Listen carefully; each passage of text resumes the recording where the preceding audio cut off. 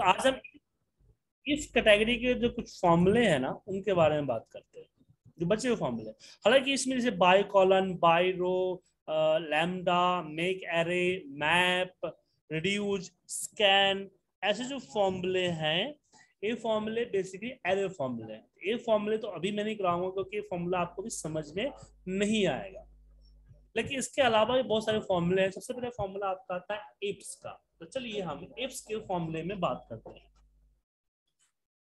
तो यहाँ पे हम सेल्स का डेटा रखते हैं।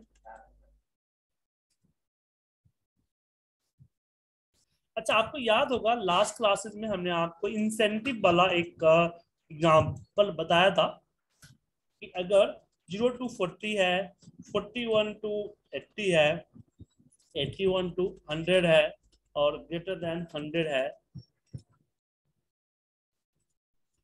तो यहाँ पे हमारा 500 आए 1000 आए 2000 आए एंड 5000 आए। तो यहाँ पे हम जो है फॉर्मूला आपको याद होगा मैंने लगाया था इफ़ का।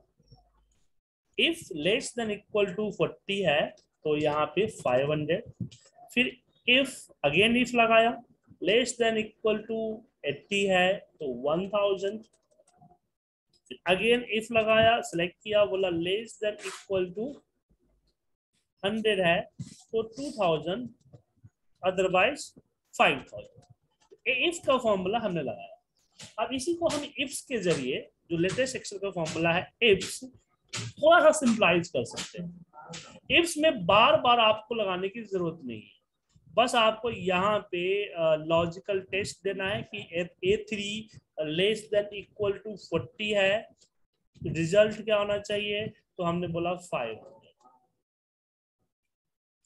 फिर अगेन अब यहाँ पे दूसरी कंडीशन की मुझे इफ़ की ज़रूरत नहीं है।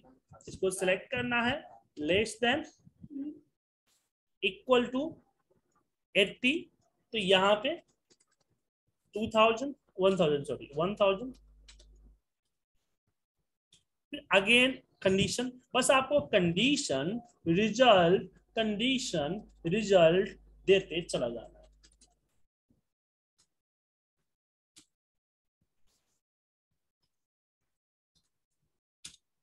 समझे? तो बाद में आप एंटर प्रेस कीजिए और रिज़ल्ट आपके सामने आ जाए।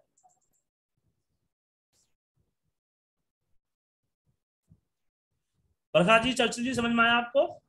इफ्स फॉर्मूले यस सर अब जैसे कि आ, कोई एरर होता है तो हमने क्या बताया था आपको?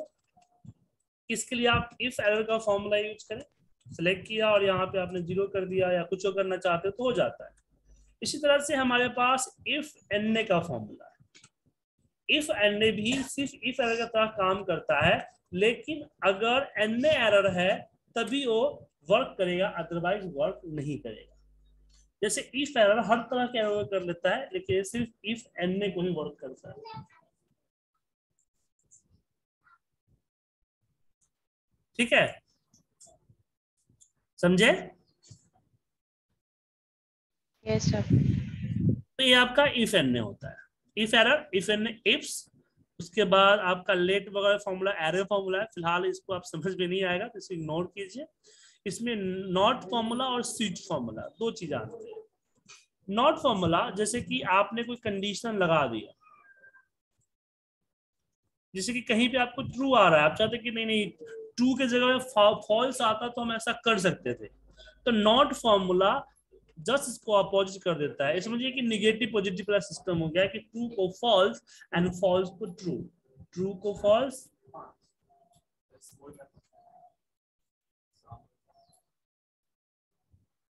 ओके? समझे मैम? अब बात करते हैं स्विच का फॉर्मूला स्विच का फॉर्मूला जैसे आ, मैं चाहता हूँ यहाँ पे कोड और मान लीजिए हमारा सिटी है। तो अगर वन वन आया तो दिल्ली आना चाहिए टू टू आया तो पुणे आना चाहिए थ्री थ्री आया तो नोएडा आना चाहिए फोर फोर आया तो पटना आना चाहिए। तो ऐसा कैसे करें? हम वी लुकअप लगा के नहीं लगाना चाहते, हम चाहते हैं इफ़ के ज़रिए हो जाए। तो इसके लिए यहाँ हम लगाते हैं स्विच का फॉर्म स्विच आप सिलेक्ट कर लीजिए कि आपको कहाँ पे क्या करना है। फिर मैं बोलता हूँ कि अगर वन वन हो तो यहाँ पे दिल्ली आना चाहिए। फिर कॉमा टू टू हो।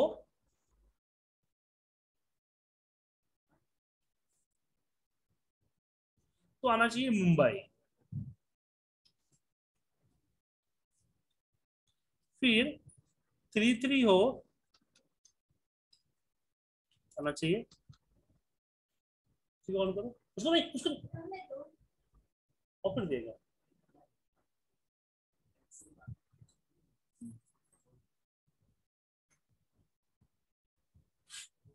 थ्री थ्री आगे पुणे। एंटर प्रेस कीजिए सेम रिज़ल्ट आएगा इसी तरह से आप अपना अपना नंबर कंडीशन नंबर कंडीशन अब यहाँ पे कोई लॉजिक नहीं लॉजिकल नहीं लगा सकते कि ग्रेटर देन लेस देन यहाँ जस्ट आप दे सकते हैं अपना नंबर या कोई टेक्स्ट कि क्या हो इक्वल वाला सिस्टम समझ गए? यस सर इक्वल वाला सिस्टम ही दे सकते हैं।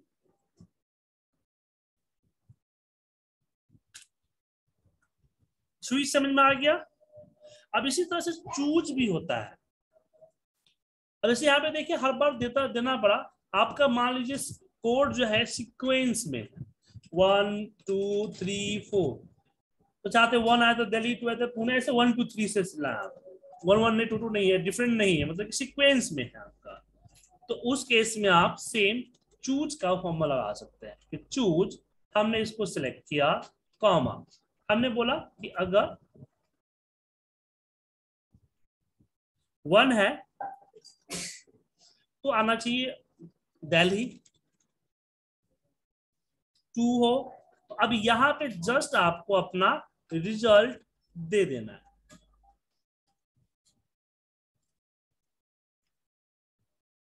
समझे? क्या कर देना है? अपना रिज़ल्ट देते चला जाना है। समझ गए? चूज़ उसी सिचुएशन में यूज़ करेंगे ना जहाँ पे सीक्वेंस हाँ सीक्वेंस आएगा वन पहला आया तो दिल्ली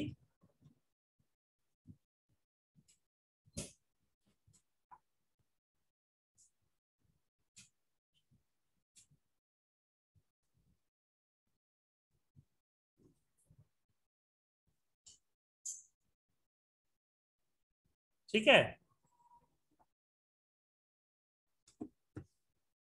समझ आया आप लोगों को? सर अब बात करते हैं कि आखिर इसका बेनिफिट क्या होता है। तो चलिए हम इफ़ और रिलेटेड एक प्रोजेक्ट के बारे में बात करते हैं। आपको ये दिख रहा है? इसको बोलते हैं प्रोजेक्ट रिपोर्ट कि भाई कौन सा काम कब स्टार्ट हुआ कब तक चला और इसके जो बार चार्ट देख रहे हैं उसी हिसाब से बन रहा है। अब इसी चीज़ को हम यहाँ पे करते हैं। जैसे कि हमने यहाँ पे दे दिया प्रोजेक्ट प्रोजेक्ट का स्टार्ट हो गया और डेज़ हो गया हमारा। प्रोजेक्ट वन टू थ्री हम इस तरह से कर देते हैं। मान लीजिए। स्टार्ट डेट जो है हमारा रैन बिटवीन का फॉर्मूला हम लगाते हैं यहाँ पे एक से लेके, एक से नहीं, तीन। तीन से लेके नौ दिन, मान लीजिए। नीचे तक ड्रैग कर दिया कॉपी एक छोटा सा डेटा बना रहा हूँ मैं। और स्टार्ट डेट वन यहाँ पे वन हुआ और इसमें हम प्लस कर देते हैं। ये ऐसा ज़रूरी नहीं कि ऐसा डेटा हो, लेकिन मैंने सिंपल सा बना लिया।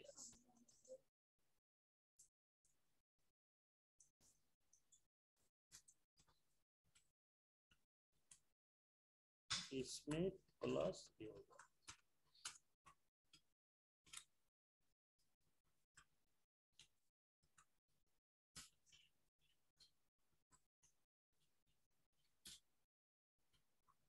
हंड्रेड दिन ज़्यादा हो गया, मैं बावन दिन ही रखता हूँ।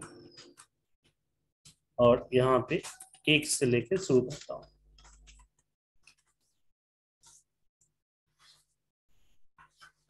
बावन दिन।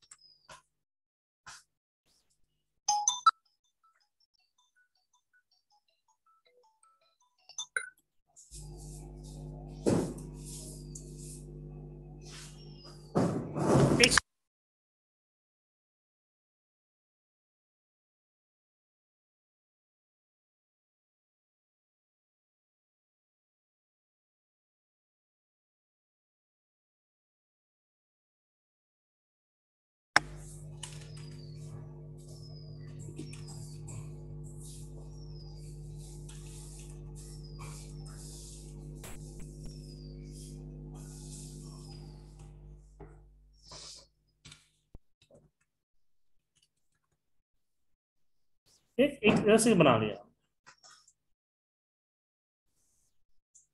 और इसको सेलेक्ट कर लेते हैं पूरे को। और इसको डबल क्लिक करके हम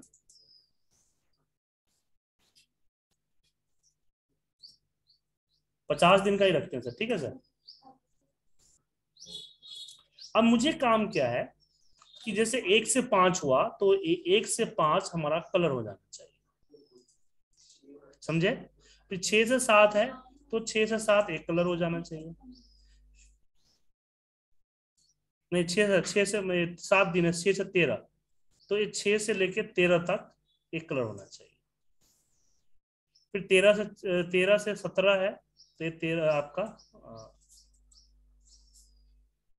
बारह बारह तक होना चाहिए हाँ। ठीक है? तो इस तरह से अब मैं चाहता हूँ कि नंबर ऑफ़ डेज़ बनता चला समझ में सर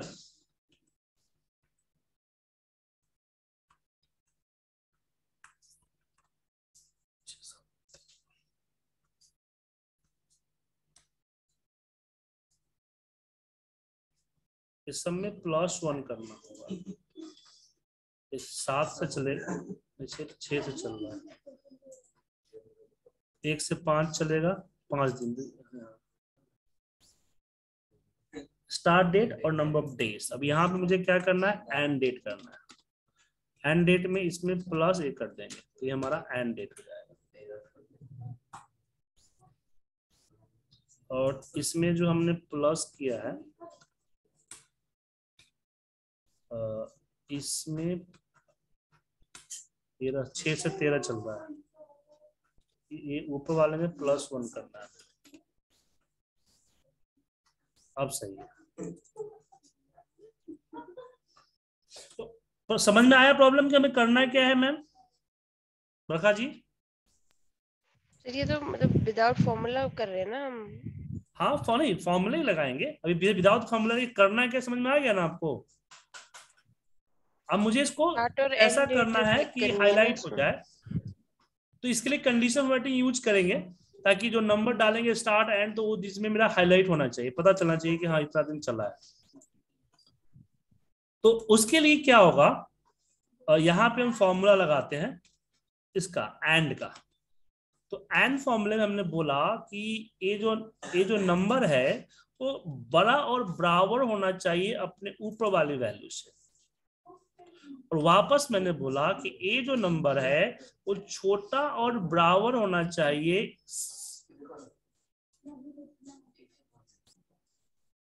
इसमें से। ठीक है फॉल्स आया? अब इसी पे हम फॉर्मूला लगा देते हैं इफ़ का। इफ़ ऐसा हुआ तो यहाँ पे वन आना चाहिए, नहीं तो ब्लैंक आना चाहिए। ऐसे ही हालाँकि ज़रूरत नहीं है एकदम डायरेक्ट कंडीशन प्रॉपर्टी का फॉर्मूला डाल सकते हैं, लेकिन फ़िलहाल हमने ऐसे ही छोड़ दिया अब इसको हम आगे ड्रैग करेंगे तो B2 है हमारा तो B2 का B फ्रीज कर देते हैं C2 का C फ्रीज कर देते हैं। और वन हो जाएगा E का, और E भी वन हो जाएगा डॉलर से। अब इसको हम इसको ड्रैग करते हैं।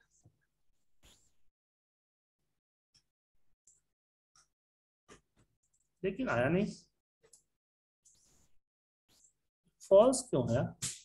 B two one E one को थोड़ी फ्रीज करेंगे।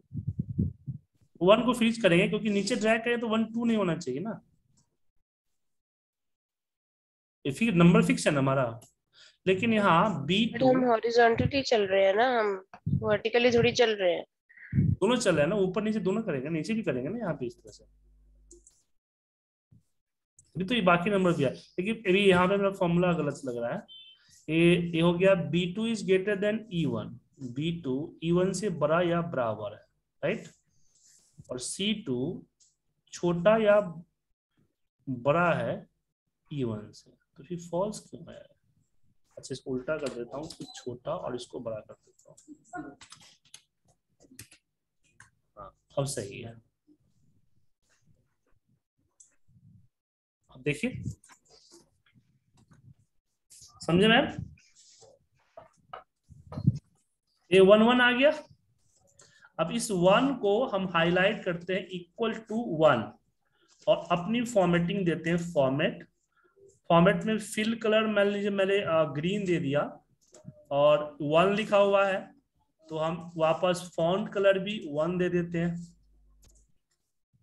बॉर्डर है तो बॉर्डर में थोड़ा सा हम व्हाइट बॉर्डर जो है ऊपर उप, इसको देते हैं। देन फॉन्ट कलर नहीं हुआ एक मिनट फॉन्ट हमारा ग्रीन ही हुआ। समझ गए? अब मान लीजिए कि अगर यहाँ पे आपके सामने सात से नहीं ये तीन से चौदह था। तीन से चौदह था। तो देखिए तीन से चौदह हो गया।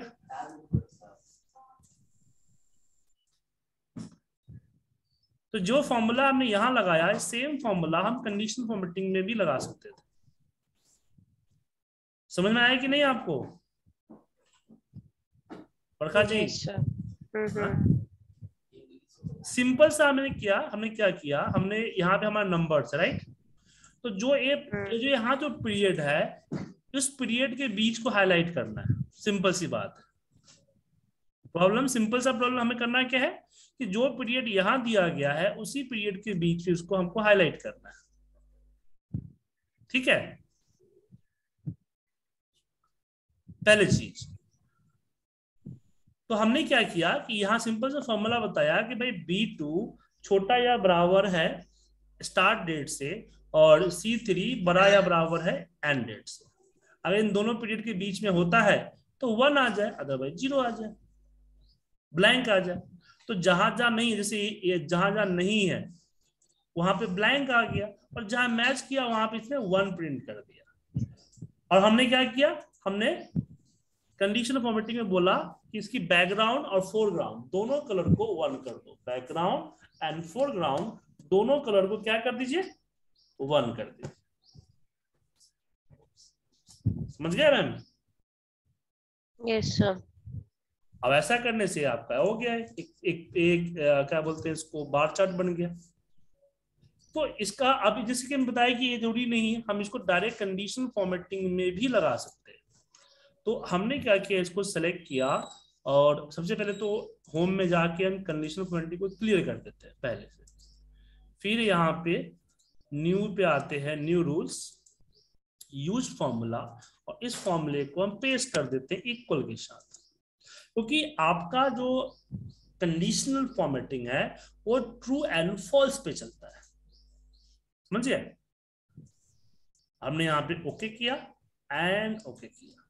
फिर फॉर्मेट प्रिंटर से हमने क्या किया? पेंट कर दिया। अब फॉर्मूला रखने की ज़रूरत ही नहीं है। फॉर्मूला डिलीट कर दिया। ठीक है मैम? यस सर और पेज लेआउट में जाइए और यहाँ से ग्रिड लाइन को अनचेक कर दीजिए। और अपना जो डेटा है वो डेटा को अपने हिसाब से भी आप मैनिपुलेट कर सकते हैं। ये ज़रूरी नहीं है कि डेटा आपका जहाँ से खत्म हुआ अगला दिन वहीं से स्टार्ट हो। जैसे ये चौदह से स्टार्ट हो सकता है अट्ठाईस तक। ठीक है? अब इस बीच में देख पा रहे हैं कि कोई ये पूरा मिक्स हो जा रहा है ना? बीच में गैप नहीं आ रहा। इससे पहले जो कंडीशन पॉइंटिंग लगाया था, उसमें हमने क्या किया था? हमने बॉर्डर यूज़ किए थे ना? व्हाइट कलर का। इसलिए यूज़ किया था। तो यहाँ भी फॉन्ट में जाके हम यहाँ व्हाइट कलर लेते हैं, या हल्का ग्रे लेते, ले सकते हैं, और इसको ऊपर और दोनों साइड में दे देते हैं। Then okay then okay and apply देखिए अप्लाई करते ही इन दोनों के बीच में एक लाइनिंग आ जाएगी। आ गई लाइनिंग यस सर अब इसमें और है कि इसको मैं फॉर्मेट में जाता हूँ। ये है मुझसे मोटा नहीं ले सकते, इतना ही ले सकते हैं। तो ओके कर इस तरह की जो है रिपोर्ट्स लोग बनाते हैं। और ये आपको न्यू में जाते हैं तो ये ऑलरेडी ये भी है। लेकिन इसमें थोड़ा सा एडवांस और थोड़ा सा कॉम्प्लिकेटेड किया हुआ है। जैसे कि इसमें plan start date plan duration actual start date actual duration कितना परसेंट कंप्लीट हुआ है। उस सब का यहाँ पे दिया गया है। और ये सारे चीज़ आप देखेंगे मैनेज रूल में तो ये सारा आपका यहाँ पे दिखेगा। नेम नेम नेम लगा रखा है इसने कि परसेंटेज कंप्लीटेड हो गया तो कम यहाँ पे लगा रखा है परसेंटेज कंप्लीटेड तो परसेंटेज कंप्लीटेड क्या है? तो ये डिफाइंड नेम है। नेम मैंने जाएँगे तो देखिए फॉर्मूला लगा रखा है। एक्चुअल दिख गया यहाँ पे प्लान यहाँ पे आ गया। Actual beyond complete percent for completed इसमें परसेंटेज का फॉर्मूला लगा रखा है। पीरियड एक्चुअल प्लान तो यहाँ सबका डिफाइन नेम कर दिया हुआ है और सबको जो है अपना ये कर रखा है, क्या बोलते हैं? फॉर्मूले वगैरह सब नेम मैनेजर में लगा रखा है। थोड़ा सा कॉम्प्लिकेट कर रखा है। इसको भी मैं आपको एक्सप्लेन करूँगा। फ़िलहाल ये अभी एक्सप्लेन आप नहीं कर पाएँगे। ठीक है? तो सेम चीज़ मैंने भी वहाँ पे किया हुआ है। क्योंकि एक सेल पे हम एक से ज़्यादा लगा सकते हैं ना। एक से ज़्यादा कंडीशनल फॉर्मेटिंग लगा सकते हैं। ठीक है? तो आज हमने लॉजिकल कैटेगरी के फॉर्मूले को खत्म कर दिया है। इसमें कुछ फॉर्मूले हैं लेकिन ये फॉर्मूले जो दिख रहे हैं, ये ऑफ़िस 365 के फॉर्मूले हैं, पहले जान लीजिए। ये फॉर्मूले आप लोअर वर्जन में खोलेंगे 16 खोलेंगे, और 13 खोलेंगे तो इतना फॉर्मूला आपको नहीं दिखेगा, इसमें कुछ कम फॉर्मूला दिखेगा।